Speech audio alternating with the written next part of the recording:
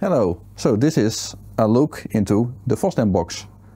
This is the combination of the work of uh, a few projects I've been working on the last year and um, also the work of a few other people working on the FOSDEM hardware. A few of these things you will already have seen before if you watched my previous videos. Uh, for example, this is the Ethernet switch that I've designed before and this is the audio mixer this all comes together in this one single uh, one unit rack case that will be used for uh, the FOSDEM live streaming. Let's see if we can focus on this. There. Which gives us uh, front panel access to uh, four charging ports for the wireless microphones. Uh, the displays showing the audio and video status. The I.O. for the digital audio mixer and on the back of it, this will give access to the HDMI I.O., the input that will be used with the camera or the laptop of the person giving the presentation, um, since there's two of these boxes in every room. Um, the output that uh, is connected to the computer inside and a loop out that will be used, for example, for showing the video feed on the projector. Is the power input. The whole thing is powered by a single 12 volt uh, power supply and the ports for the network switch.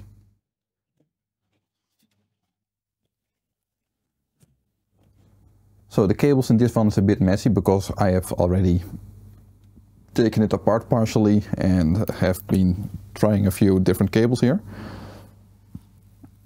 But this is mainly what the inside of one of these boxes will look like the heart of this board is this uh, Radxa X4 computer.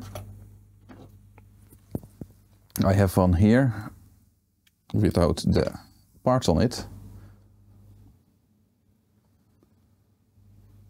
This gives us the uh, computing power. This is a regular uh, x86 single board computer in the form factor of a Raspberry Pi. So it's nice and compact. It can fit in here with all the other boards and it also has the I.O. here for uh, that you expect from a Raspberry Pi except uh, this is not a Raspberry Pi so they did that by adding the RP2040 microcontroller on here which is connected over USB internally to the computer in here so it can be programmed and used in any way you like.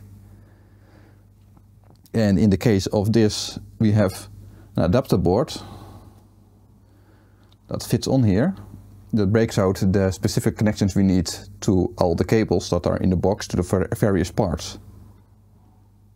The main very important board here is this one. This is the power board designed by Dexter.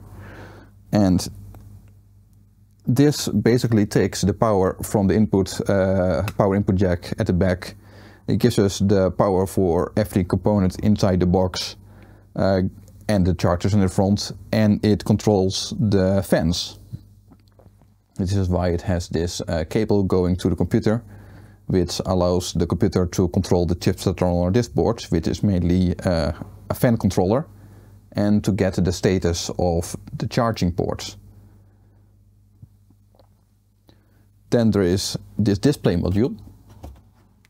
This is uh, off-the-shelf uh, Waveshare triple display module that has a custom board added on the back of it, just like we had a uh, breakout for the Radxa, just to make it easier to connect everything together.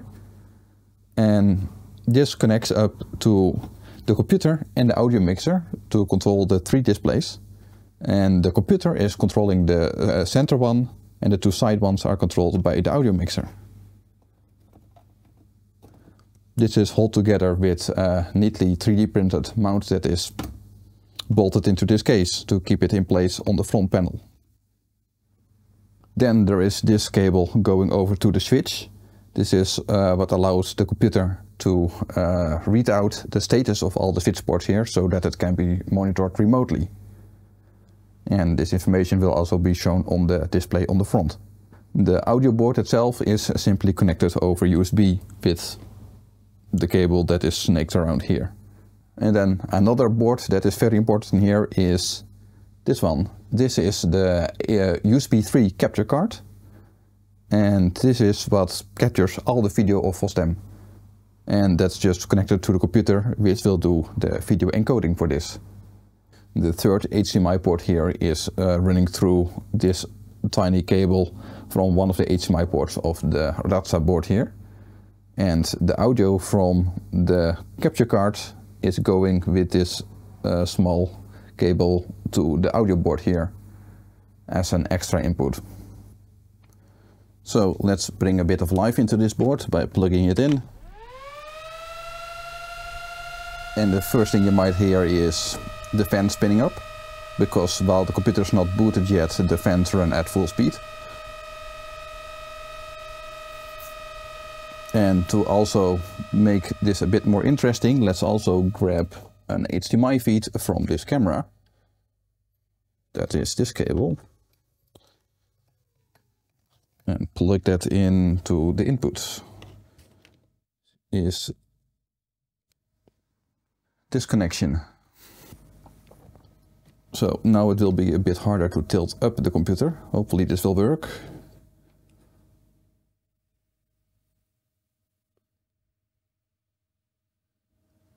As you can see, this is now showing the interface from the computer and an HDMI camera feed. It has a bit of uh, status information overlaid here. This is not the final information, this is a bit uh, old firmware. There's also the LEDs here giving the status of uh, the charging ports. The red one will light up if any of these ports are overloaded, for example. And uh, the display here is showing the a few meters of the audio inputs. So to make this a bit more clear, I drew this block diagram of the box. And this shows the most important wiring. Um, at the top, there's the power input and the power board. And this supplies power to the switch and the Radxa and the display. And of course the external charging ports. I did not draw in the fans here because I ran out of space to do that neatly here.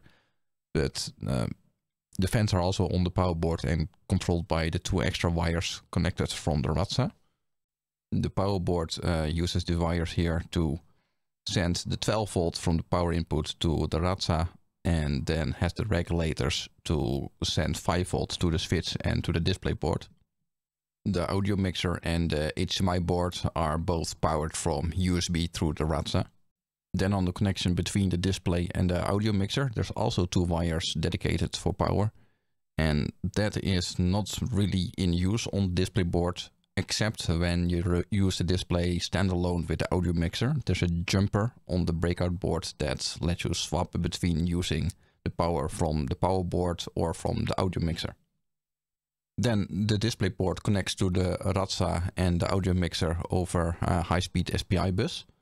And the way the display works from uh, Waveshare here is that there's one SPI bus dedicated to the center display, and that's the one connected to the Radxa. And the two side displays share the same SPI bus, but uh, have separate chip select lines, and those are all routed to the audio mixer here. So the internal design of this display just happened to work out great for the way the box is put together.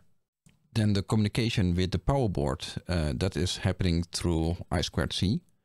And this connects to the several components of the power board. Uh, it has a temperature sensor for getting the ambient temperature of the box. It has an I2C fan controller.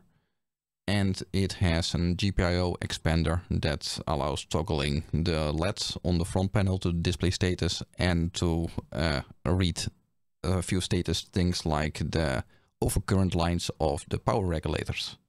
And to complete this, the switch is connected with a few extra lines to the Radxa. This is almost but not quite I2C. And a few extra GPIO lines to allow resetting the switch from the Radxa board. The rest of the wires here are the spare power pins not used in this iteration of the design. So yeah, that is a reasonably quick overview of what's inside one of the FOSDEM streaming boxes. It has been a lot of fun to design the internals for this entire contraption with uh, the rest of the FOSDEM video team. and uh, it has gone through a lot of iterations. So if you are at FOSDEM this year, then you will probably be hearing audio going through one of these boxes at least. Uh, unless you're in Janson, they are separate. And if you are experiencing FOSDEM from home, then, well, you are watching the live stream through one of these boxes. Or uh, at least two of the boxes at least for every room. Uh, thanks for watching.